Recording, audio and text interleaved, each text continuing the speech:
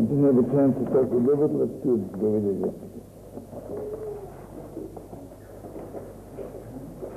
Oh, the building is something. okay, I just continue here. Okay, remember Rav Nachman was Mechadish, and Mechadish B'Tuva. The davening is not just asking and not just receiving whatever you need, which is, which is really, I want you to really listen. Everybody has to put them on. To one. We're starting with Reb Nachman. Reb Nachman is the same, but I'm taking around with a single page, just like the, who don't have. God forbid a person is a homeless person and is, is looking looking in, in a garbage bag for food. It's a bit sad, right? And then another person is rich enough and he goes to a fancy restaurant and he gets his food in a restaurant. This is a completely different kind of food, right? But this is still on a physical level. But if I receive life just from this world, or if I receive life from a higher, from a higher side, be NRI for me. Something else. See, Rav Nachman you don't daven, you're also alive, and you get everything you have. But the question is, from where do you receive your life? Are you your life from the four walls of the world? When you daven, how much you receive your life from other places? Other places. You know, I, I don't want to compare, but just I don't know, it came to my head. Mean, you know, someone will ask you, where do you get your knowledge of spirituality, of serving God? So you will tell me, you know, I once did an article in the Reader's Digest, and that turned me on, and since then I'm a servant of God. And someone else will say, you know, ah, it's beautiful, I'm not knocking it, but you know what turned me on? I was, I was, I had the privilege of being troubleshooted by the Heiliger Bad Center, right? When you say it's not just the same, there's a difference, something else. right? So the difference between a Yid and Daven who prays and a Yid who doesn't Daven is not just it's nicer, sweeter, cuter, and it's, uh, you more traditional, right? And this is all nonsense. The Rambam says when you daven, you receive life from another place. How much you're connecting yourself to a higher place. But then he says, ובשביל זה צורך להתפלל בכל ככה. Remember I told you yesterday that Yisrael Aditzler would say every morning, Rabban Shalom,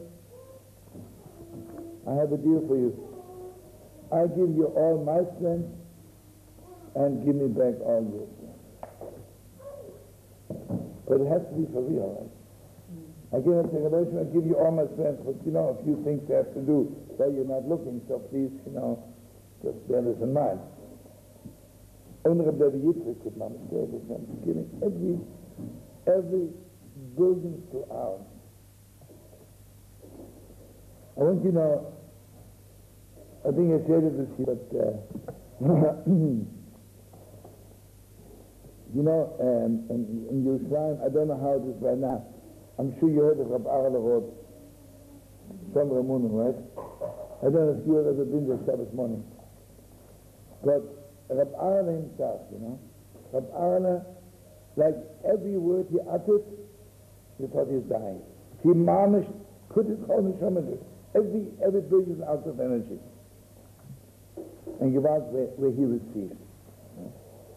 I have to tell you the sad. Um, did anybody ever hear from someone's name, Dr. Brothers, a woman who's a therapist? I'm, I'm from the church Permit me, forgive me, but she grew up in my shul, would you believe it? Yeah, and now she's a big sister cousin. Her father, you know, her father was not, he's not religious. He likes my father personally. That's. That's his connection too.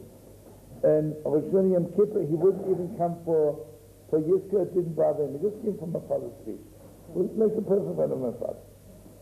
Okay, but he always made a point. He says, I like your father, what I say. Okay, it's the already that was before we had the war, 64, 65.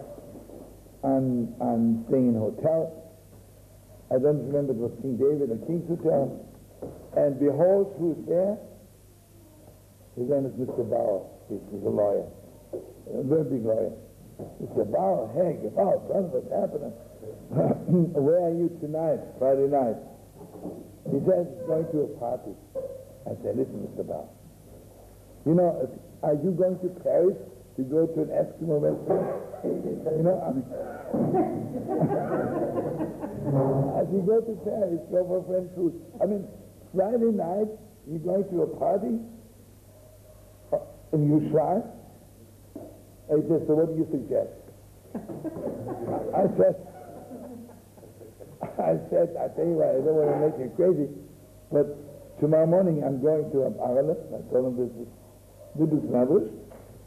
And if you want to, you have to be here in the lobby exactly 7 o'clock. So it takes from, from King's Hotel, so. And his wife is really like a fancy lady, you know. Whenever I see her, I have to look twice because I don't remember which hair color she had last time, you know. And it's like, I'm Kaddish B'Tur B'Chol Yom Matam Always new color, colorful lady. She's a sweet lady, but that's all she knows. Okay. So he says, I told him, listen, this is my suggestion. Tomorrow morning, 7 o'clock, come with me. And also, when we get there, I'm not responsible for you. You can leave it whenever you want because I need it for my own neshama. I have to daven there. Davening will be till about 2, 3 in the afternoon. Anybody who's ever been there.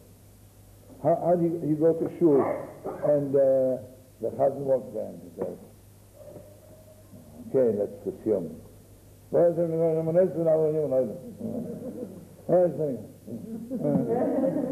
he says, "How did Holy Jewish. A Jew and a Shem can come on. You know, you wonder, God must have a suggestion of speech therapy to the Chazim. Can you talk like a man? Anyway, but you know, Barab Arla First of all, the whole community sets everyone together. You know, I don't want to yell as much as they do because I still need my voice today. But so they say, Baruch.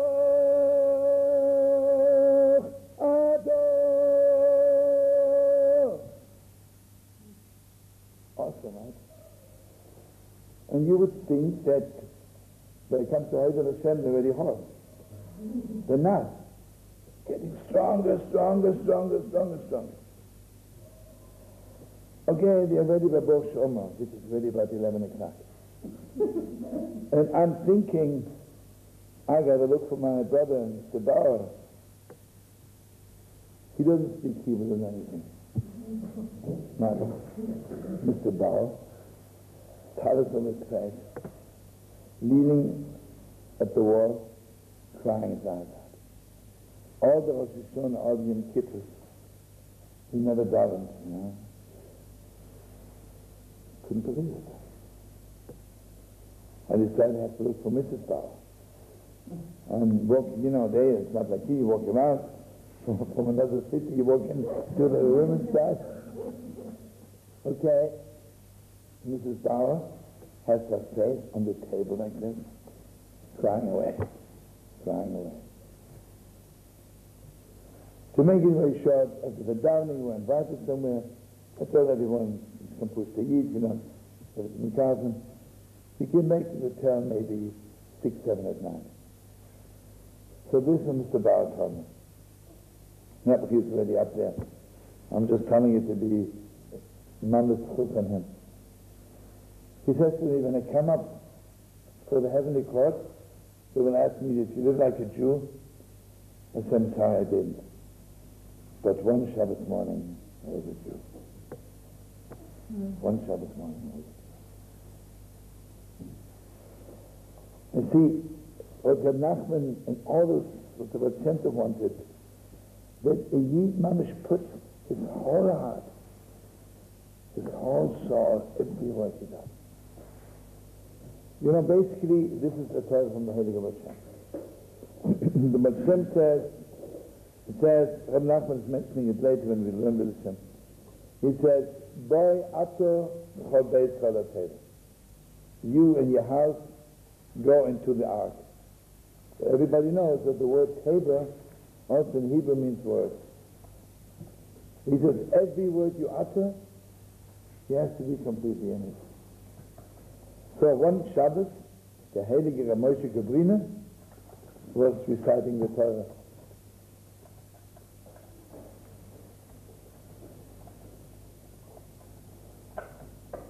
Okay, one Shabbos morning, the Heilige Zisa Kaprina was, was saying the Torah of the.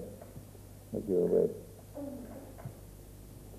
The Heilige Kaprina was telling the Torah. So then he says, um, you have to be in, in, in, in, in the word completely. So says to him, a word is so small and the Yid is so big. So he says him, anybody who deems himself bigger than the word he utters, this is not the kind of person I'm talking about. You see, I tell you what, I'm calling up Eastern Airlines. When is your next flight to Miami? Hmm. Will you say that every every part of me is in those words? When is your next flight us? Because it doesn't get, it doesn't bother me one or the other. Just want to know what time it is, right? Is it 10, 50 or 10, 15, right? When you talk to someone you love very much, then every word you're. When you talk to glad promotion has to be completed. So the Nachman says, "Bishvil zeh tov mispalel b'chol kach." Because in order to receive not a few apples and a few blintzes and more money in the bank, but mamish life, Tik shemispalel b'chol kach umachnis kach b'ois atzilah, as ein ischadis kach Hashem. Chinuch Hadoshim Nabkorim Rabunasach. Okay. You know, Rab Nachman is always play on words. The first thing is, you mamash have to put your whole heart. Not, we're not talking here now about spiritual energy. Mamash, even your physical energy has to be complete. Remember what all the rabbis said, Avraham says, Akers as Hashem Avraham B'Kodesh. Say Avraham Avinu when he davens, even the sole of his foot was davening. Ekev Hashem Avraham B'Kodesh. Whatever Avraham did, right? Physically, every part of him was involved. Then he says, Chadosh Nabkorim Rabba Amunasach. And just let me say the words and explain it. Ki Amunah Hitzkilah. He says, every morning when you daven, Nabkorim. How do you become a new person? Then this is really important. Everybody wants to be a new person, right? So, uh, I'm changing diapers, I'm a new person. Changing my diet, I'm a new person. And I'm going through changes, I'm a new person. Is all bullshit, you're not. You're the same people before. Know about you, and about me. When you become a new person, when you put your whole heart, your whole soul, your whole being in davening. Because then you mamish receive life from a higher place. I want, I want, I want, I want out of my little stupid world. I want, I want to get out of the full world. I don't have my act together. I don't have my act together dancing. I want to. So he says, Kiamuna Hitzkila. This is the deepest part of the world. And this is mamish heartbreaking. If a person wants to test how much are you putting in into davening, it's a little bit heartbreaking. How much you putting into davening, this is how much you believe in God. This is how much you believe in God. Because if I daven, that means I really don't believe that God is listening. How, how do you have the chutzpah to talk like this to God? But to tell you the truth, I don't think it's listening. And maybe he gets my message by Federal Express, it'll reach him a few minutes later, and he will read my request and no. And I wish you know, Rab Nachman is the deepest story, and I don't want to get involved in this because we just want to learn one, one more this, this line. what does it mean to believe in God? You know what it means to believe in God? That nothing is impossible for God. Mamish nothing. Mamish nothing. There's a Torah from the Heilige Baal Shem, and also from Chernobyl, from all the Rebbe stories about whole time. If there's anything in the world which I think is not possible before God, he's going to take. Let's say God forbid somebody is very sick, true. Why do I daven? The doctor says it's over. Why do I daven? Because I mamish believe with all my heart that right now this person has to live five minutes. If God wants to, he can get up and do a, a hula hula dance for 24 hours. Why not? What's amazing? What's the whole thing? Amazing is I believe, I believe that a person can be lying in the grave for 2,000 years and the Moshe snaps his finger and the evil comes out and begins to dance. You see what it is? And Ishmael says the whole time is a talk. Why do they have amazing for Mashiach coming? If it's possible to get people out of the grave, why don't we do it? Because our belief in God is not that strong, said. Yeah, I, I believe when somebody is sick, God is a good doctor. He has a different way of healing people. Maybe it's a homeopath or something. He can heal people. But mamish to get a dead person out of the grave, I can I can talk myself into, but I'm not right. I just have to share with you a very fast story. The Heilige of Schwemmler, Schwemmler Radomske, if you remember, you know, the Seer of Lublin, basically we always talk about about uh, the Yitakot, Shifre, Ishbetze, but the truth is, the Seer of Lublin had a completely different way. And the real Mamala Mekreimer from the from the Heilige Chayzim in Lublin was the Heilige. Hey, brother, what's happening?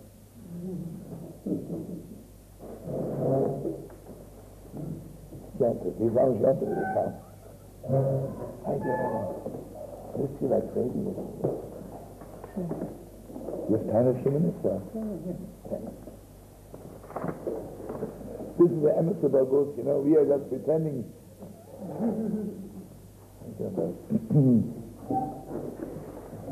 Hier, so Rab Shlomo Kalin, I mean, so the Euler Shemaim, the Heilige Euler Shemaim, was mamish really, I don't know, remember, but then, uh, maybe from other times in the Moshav Torah from Euler Shemaim. The Euler Shemaim was an up, and he was like mamish, his Torah, like the Torah from the Rabbina. Just, if you don't mind, especially Rameir is here, and the Rebbetzin not see. And uh, I want to give you over Torah from the Heilige Euler Shemaim. You'll see, it's a completely different way. The Eike said, Shoma Hashem Elokecha Lecha. It's God regards the covenant. so he says the deepest Torah. You know, in, in the Holy Temple, the stones, you couldn't cut the stones, you're not permitted. The. So there was a worm, and he was punishing the stones, right? And the worm was called Shamir, right? So he said, that if you do the mitzvahs, then the Shoma Hashem God will be your Shomer. God will punish you.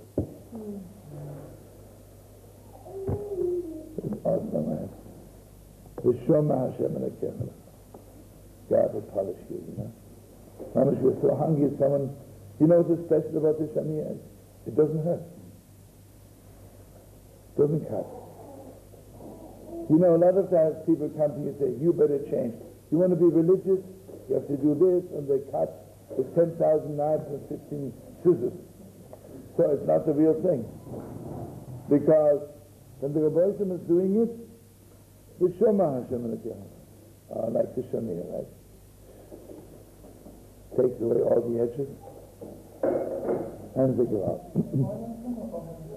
oh, uh, anyway, so Reb Shlomo Radomske, before he was a Rebbe, he's 16 years old, and he was a Kohen, and he's sitting there late at night in the Besmever.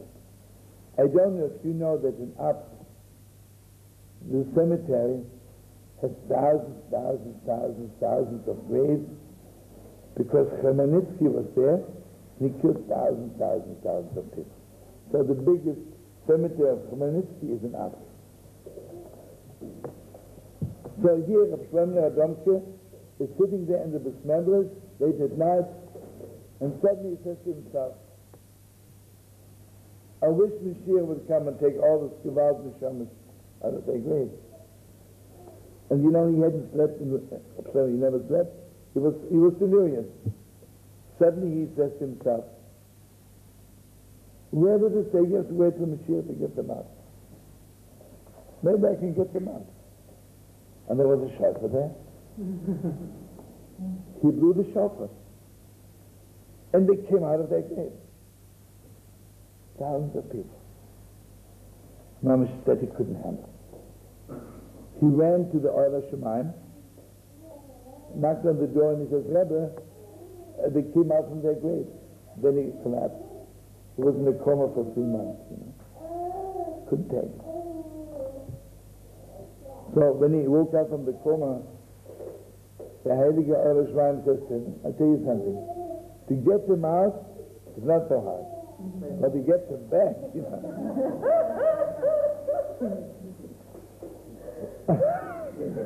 he says, oh, there, he says, what's you left for me to do? But then he says to him, do you know that you have a big nitzvah of Mashiach? You have a nitzvah, you have a little spark of Mashiach. And when you blow the shofar, you can get them out of their grave. So Rabbi Shlomo Radomske was the only Rebbe who never blew the shofar again. But you know what, what I mean to tell you? He mamish believed it takes one blow of shofar to get them out. of You see, you know what it means to believe in God? To believe in God means, I know, it's so easy. You know, it's not only that God created the world in six days. There's no effort, right?